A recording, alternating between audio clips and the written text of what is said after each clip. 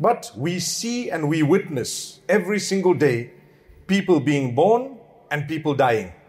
We see people being born and mashallah there is excitement upon their birth and we see people dying and there is sadness upon their death in the case of most people.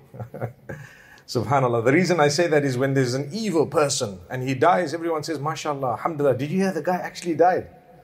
You know, let's hope we're not from among those, my brothers and my sisters.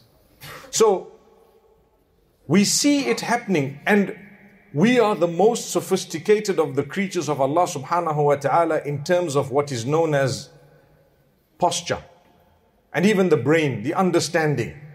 Allah Almighty says, لقد خلقنا الإنسان في أحسن تقويم we have created man in the best of postures.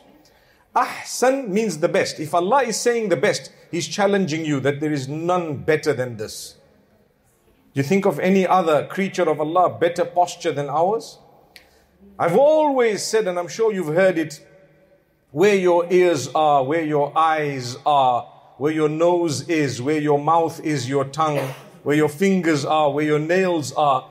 Can you ever think of a better place to put those organs? The answer is no.